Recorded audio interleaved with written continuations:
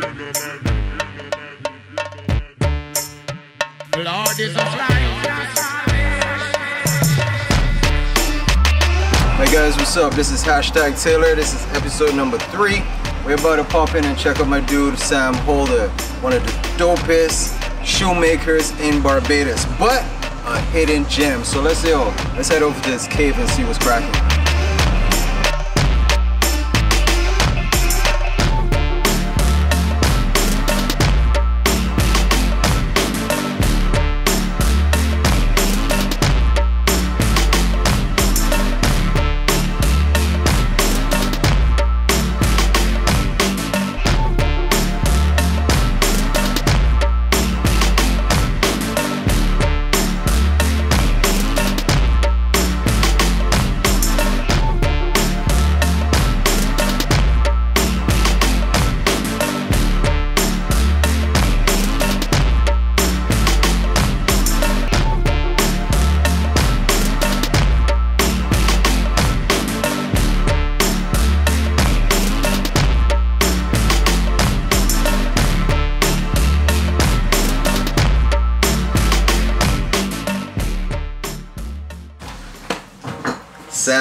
Hey, what's happening, bro?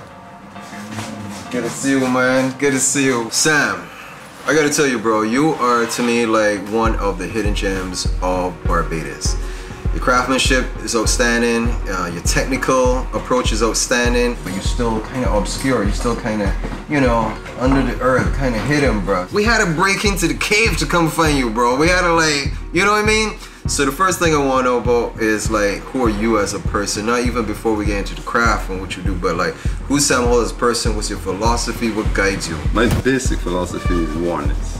One with the creator, one with the entire universe. Okay. That's, that's, that's it for me. I see. It's not complicated. How does that though now factor into your work? You know what I'm saying? Like, how does it, if it does? Yeah, it does factor into my work. And so, so when I'm working now, I don't see my work as negative or positive. Okay. I don't, I don't think in terms of this is bad, this is good.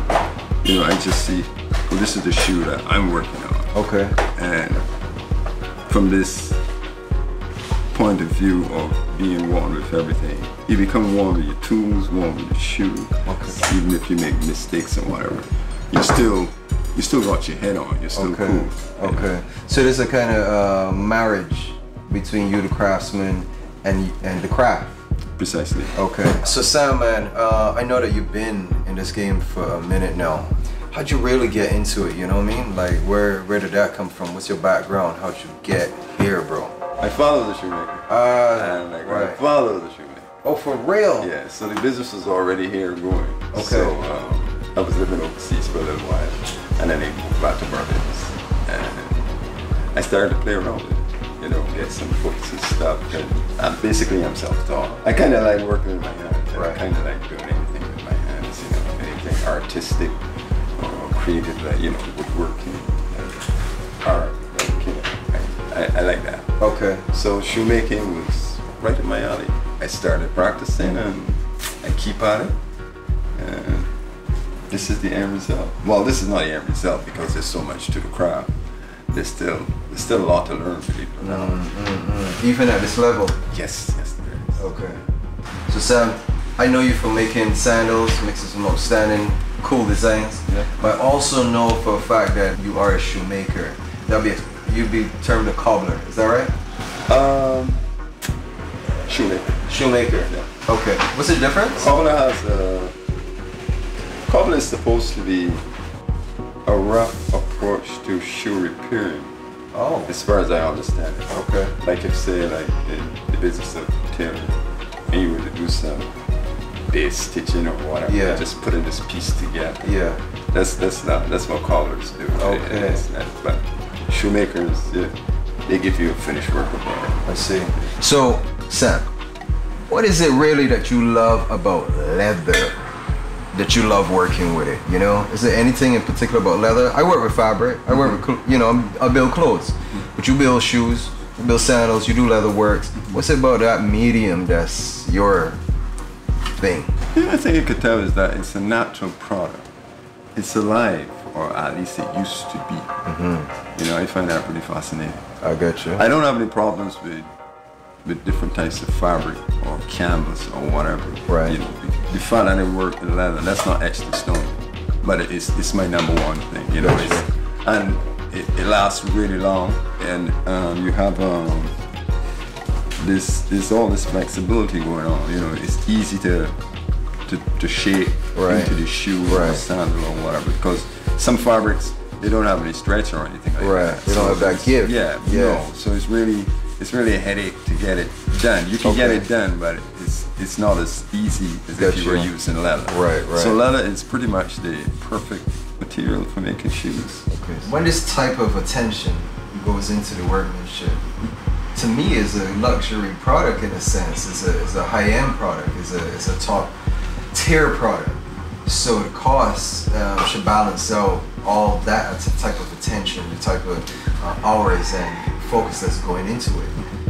Do you get that type of customer coming to you and saying, yeah, um, I'll spend X to get that specific thing that I want? I almost don't, which is unfortunate because there's so much involved in, in, in producing this shoe. You start with your basic gloss. It has nothing on it. it it's, it's, this is exactly how it came from the manufacturer. Yeah. The last scar is a, a- a steel plate, so that when you start to nail, every every it's an entire nailing process. So the steel plate would turn back the nails when they go through and stop them from coming out. So this was the whole idea. You had to do it that way because you didn't have any fancy machinery, and this was the fastest way to do it. You couldn't do it any other way. Wow. So if this person has a really wide foot, which in which this which in this case he does, mm-hmm. what you would have to do is to take girth measurements around the joint, which is around, around the, the, the toes, Right. and then you take joints, and then you take measurements around the instep, Yeah. and then you take measurements from the heel across the instep type of thing. Okay. And those, those are the basic measurements that you need. Mm-hmm. And then you go and you start to build up according to the measurements that Right. So this is the took. foundation here. Right, yeah, so, and apply pieces of leather and reshape them. If Okay. you, if you look at the bottom, Yeah. you can see right here. That was the start. Yeah, that's the this is this is the original last right down through here. Yeah. And all this stuff here, this is the that I have to Build up. build on I see. to all at the back and getting it to fit and look good and everything. You, you're talking like well over a thousand dollars, maybe two thousand dollars. You mention this to a regular guy, he's gonna think that you're insane. And you can't blame him because I mean he has a family and groceries, gotta buy groceries. So you can't you can't spend two thousand dollars on a pair on one pair Right. of shoes. But what happens is that every now and again you will get a customer and you can tell that this customer he can't purchase anything from the store. This is how important this is. Because his feet are either too wide, his step is too high, or he has six toes. arches, six toes, or whatever the case may be.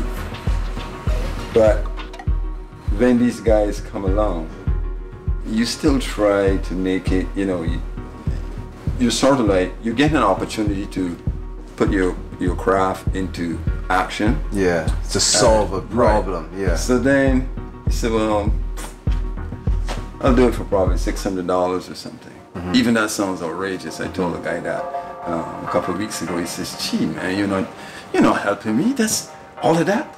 So then he, he stood here Yeah. and watched me. I think I was working on, on, this particular last. I was just shaping this up. And he was, he was, he's looking at me and he's looking and he's looking and then he, he says, Jesus, man, you really, this is a lot of work. You really. I said, yeah. Did you guys used to make for the government? Like make shoes for government industry? Yes, that's how it started. My dad used to make shoes for the police. I see. This was back in the 60s where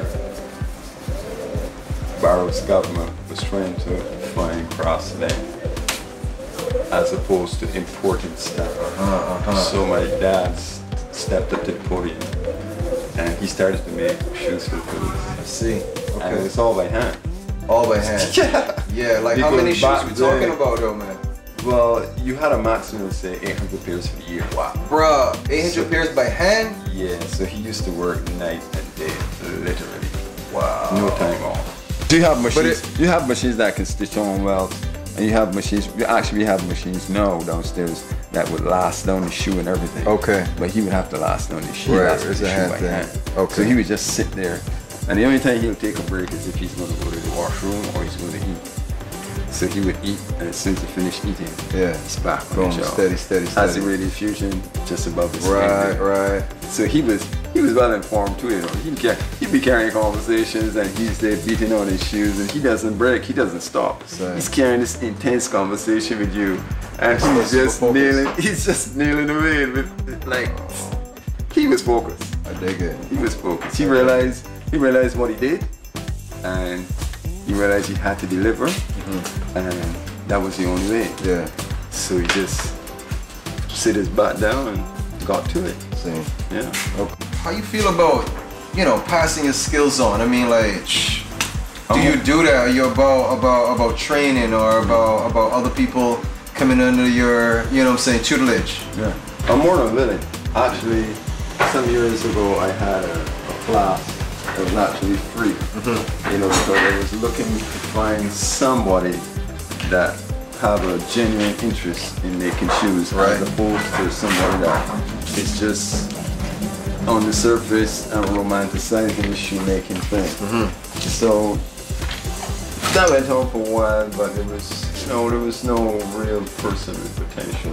Oh. But some years back, um, I ran into this my Rasta friend here for me. So Tommy, what's happening, brother? Good to meet.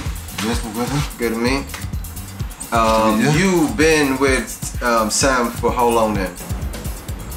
It's approximately about two to three years. Two to three years. Yeah, two to three years. All right, and why Sam, man? Why, why, why? Because you, there's a lot of people working with leather.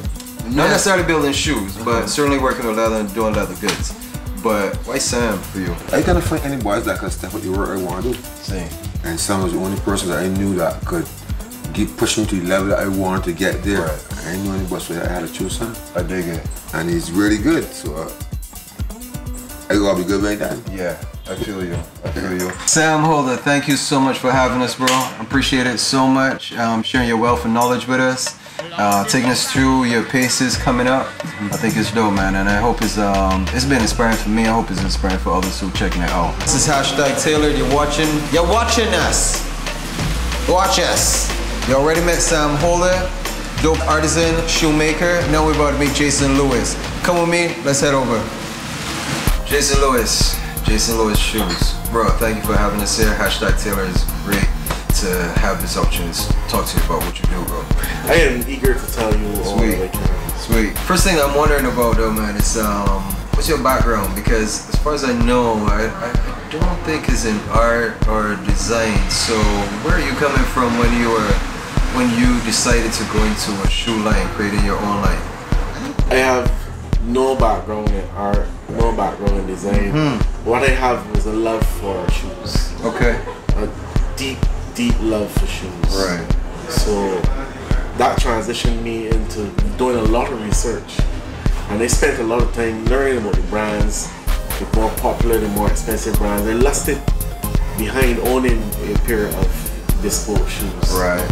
and that was always very far out of reach. The higher end brand shoes start Gaziano and Girling, for example, is twelve hundred dollars US for a pair of shoes. I see. So I kept looking, kept working, kept investigating the processes, and then I took the jump one day. You're not really coming from art. You're not coming from designing. No. You're coming from like, I just really love shoes, man. That was the large impetus behind starting Jason Lewis. I dig it. I wanted to I wanted to bring a black owned high end men's shoe to the world. I see. So Jay, the way that I understand it, um, your shoes are made internationally. They're made in Spain. right. So I'm thinking to myself, um, I'm wondering why they're not made in Barbados. The honest answer is cost. There is not it is not that they can't be made here. It is just financially improbable to make them here. The price point to sell a pair of shoes if made here would make my shoes three times as expensive as they are right now. Really? I would have to import the leather, I'd have to import the dies, have to import the machinery. There currently I don't I am I am not sure if there's anyone here with a Goodyear welting machine on island and all of my shoes are Goodyear welted and to offer that level of quality here would price me oh, Out very market. far out of the market. Okay. COVID 19 caused me to reevaluate how I was making money. I traditionally was in a totally different sector. I have a folder on my desktop that is labeled as projects slash dreams. Right, right. And. I decided I was going to pick the wildest and most outlandish next business idea and run with it because 2000 2020 has shown me that nothing is out, out, out of bounds. There are no limits at all to anything. Okay, bought some samples and I was, I was very fortunate since starting to have very good customers. One customer bought a sample pair of shoes off of me without even me letting me leave the room. Mm-hmm. Mm-hmm. Put them on, tried them on, and said, "Thank you very much." Right. This was, that was my very first pair to sample. right. That's how that's how business has been going for me. I see. What I'm curious about is the design. You know me. I'm coming from a design end. I'm also coming from a, a maker's end. I'm curious about um, the designs that you come up with that you choose. Where where design is concerned, I am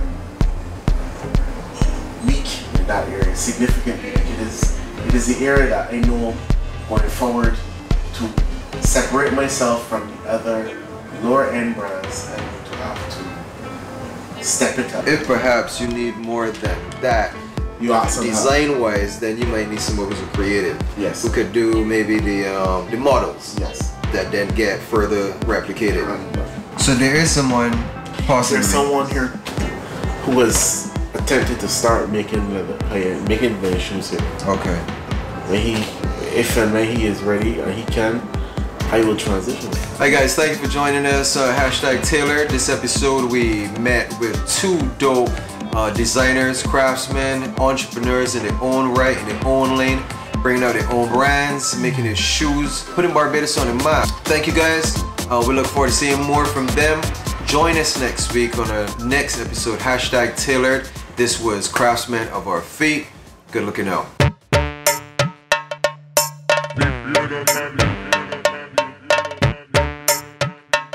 Lord is flying.